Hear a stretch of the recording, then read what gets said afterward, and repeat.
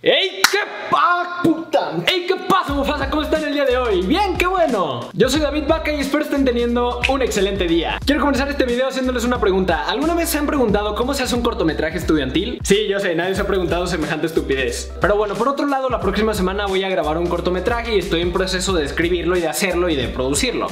¿Eh? Y pues sí, la neta estoy un poquito nervioso. Porque claro, además de mis muchos talentos que tengo como recrear la película entera de Shrek de memoria, estudio algo relacionado al cine, así que ya saben lo que significa. Soy un narcisista arrogante necesitado de atención. Y pues digo, y, ah, y digo, ahorita necesito un poco de inspiración para dirigir, escribir, producir y hacer básicamente todo en una producción independiente, sin contar el hecho de que me estoy quedando pobre con este proyecto. Quiero compartirles un poco de mi conocimiento cinematográfico para hacer un cortometraje. Obviamente no tengo ni idea de lo que voy a hablar en este video, pero así son todos los youtubers hoy en día, ¿no? Les voy a contar cuál es el proceso para hacer un cortometraje estudiantil horrible que seguramente subirás a YouTube y nadie lo va a ver, basado en mis conocimientos cinematográficos superiores a los de ustedes, claro. Porque claro, todo lo que yo hago es intelectual y es arte y lo que hacen los demás es pura basura. Perdón, pero no es mi culpa tener un intelecto cinematográfico tan grande y superior al tuyo, ni al tuyo. Pero bueno, mucha introducción, vamos al tutorial de cómo hacer tu cortometraje estudiantil.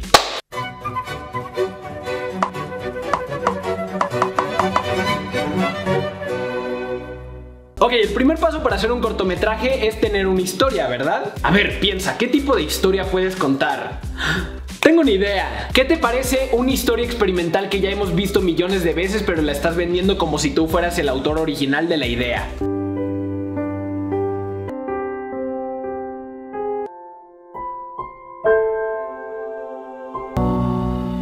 Oh, por Dios, es perfecto. A ver, se me ocurre algo. El cortometraje inicia con una persona despertándose, hace su rutina de todos los días y luego lo convertimos en un cortometraje de pérdida de un ser querido. ¡Genial!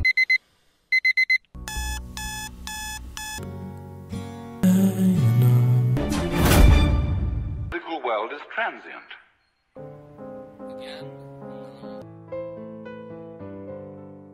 Luego sin ninguna razón aparente ponemos una escena experimental en donde haya sonidos incómodos porque nos queremos alejar de los clichés y al final no pasa absolutamente nada. Genio, genio cinematográfico, ¿qué les digo?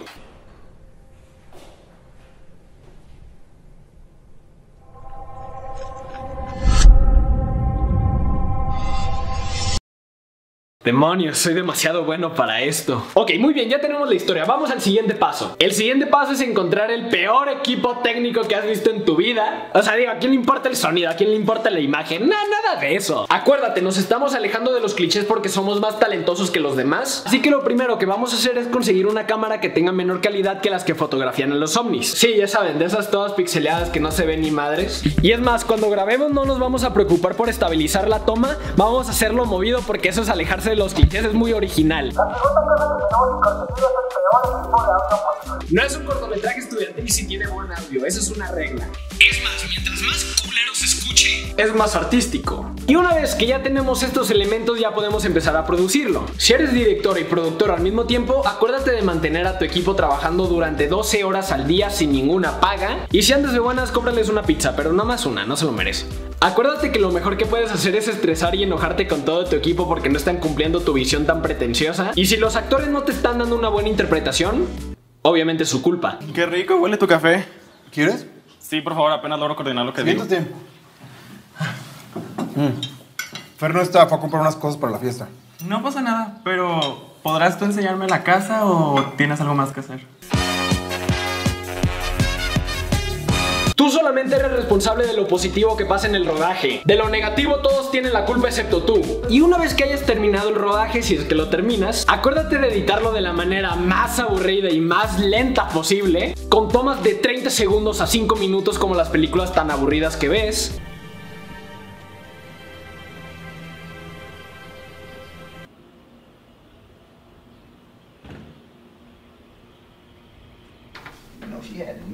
Tell me to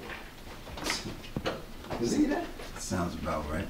Y luego envíalo a los festivales porque esto es una obra maestra. Gástate todo tu dinero enviándolo a Sundance y a Cannes. Y si no te lo aceptan es porque no comprenden tu visión artística y tan profunda que tienes sobre este cortometraje. Y luego llora. Y ahora, un cortometraje del aclamado director David Baca, en donde no seguirá los consejos de su propio video ya que eso es bastante cliché, Y tampoco tiene título porque es algo predecible y comercial.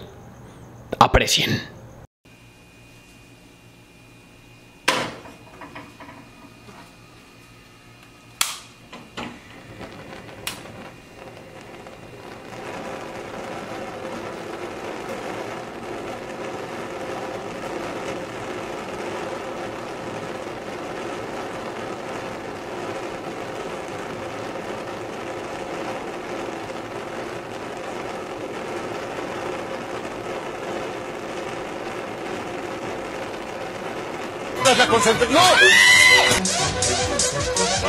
Dejando que repercute en mi ano, en mi ánimo.